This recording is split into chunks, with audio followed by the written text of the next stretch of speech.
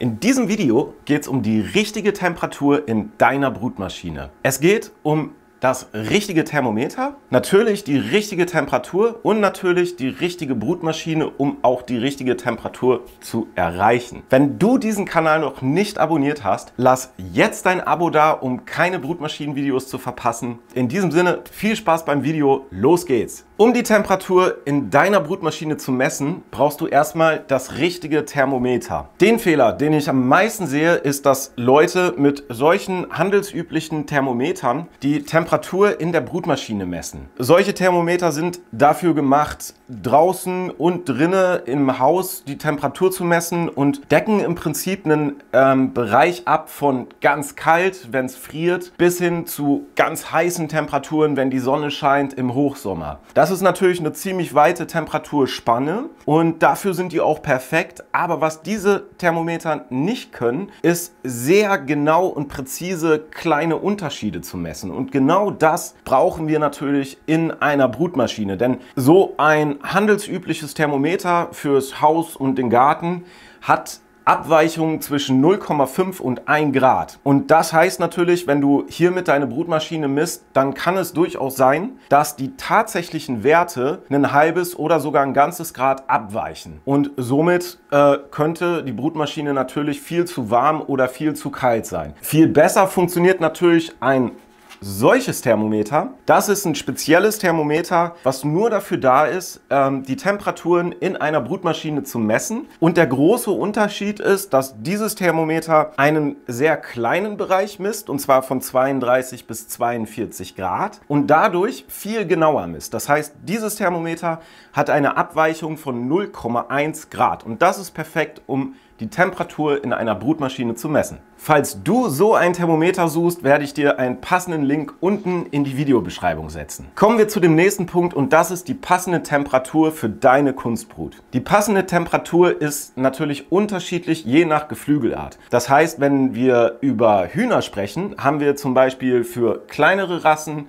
äh, 37,5 Grad und für sehr große Rassen 37,8 Grad. Für Wachteln, Gänse oder Enten sind wieder andere Werte richtig und da wäre es wichtig, dass du dich informierst, bevor du loslegst, welche Temperatur für deine Geflügelart wirklich die richtige ist. Zusätzlich müssen wir auch noch pro Brutmaschine gucken, was der Hersteller empfiehlt. Auch hier gibt es kleine Abweichungen. Manche Hersteller empfehlen die Bebrütung bei 37,7 Grad und das sind natürlich nur kleine Unterschiede, aber diese kleinen Unterschiede, die entscheiden schon über eine erfolgreiche Kunstbrut oder eine nicht erfolgreiche Kunstbrut. Dann kommen wir auch schon zu einem sehr, sehr großen Faktor und das ist natürlich die richtige Brutmaschine. Und da habe ich jetzt mal zwei Beispiele.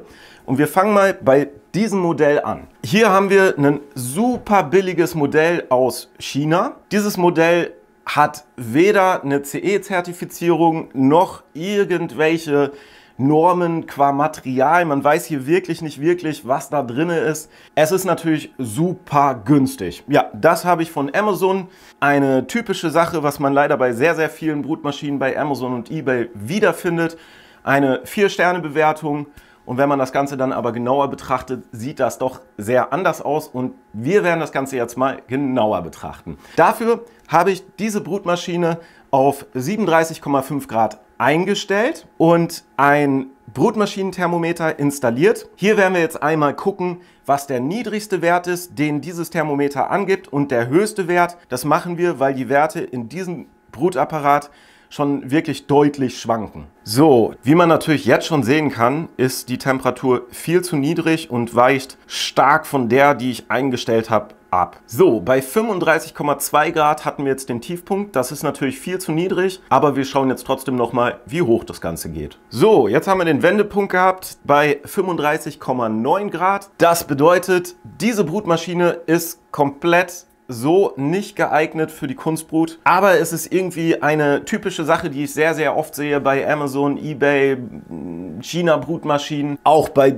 diesem super günstigen Modell oder auch bei diesem Modell. Und ich könnte jetzt einfach so weitermachen, aber wir werden uns jetzt mal eine richtig gute Brutmaschine anschauen. Hier haben wir jetzt eine Brutmaschine von einem europäischen Hersteller, die wirklich sehr, sehr gut ist und die Temperatur einfach unfassbar gut hält. Und das Ganze Ganze sieht man natürlich auch wieder am Ende bei den Schlupfraten. Und mit diesem Apparat habe ich fantastische Ergebnisse erzielt. Diese Brutmaschine ist natürlich auch auf 37,5 Grad gestellt. Die schwankt mal um 0,1 Grad. Das ist aber völlig in Ordnung. Und wenn wir das Ganze jetzt mal auf dem Brutthermometer betrachten, dann sehen wir genau das gleiche, was wir auch in dem Display sehen. Die zeigt also genau das an, was ich auch messe. Und zwar auf die Kommastelle genau. Und das ist natürlich, wenn es um die Brutmaschine geht, extrem wichtig für die Schlupfraten und das Ergebnis. Falls du auf der Suche bist nach einer wirklich guten Brutmaschine, dann werde ich dir auch hierzu wieder passende Links unten in die Videobeschreibung setzen. Wenn du mehr über Brutmaschinen erfahren möchtest, dann abonniere diesen Kanal und schau dir unsere Videos an. Wenn dir dieses Video gefallen hat, dann gib deinen Daumen hoch. Vielen Dank fürs Zuschauen. Bis zum nächsten Mal.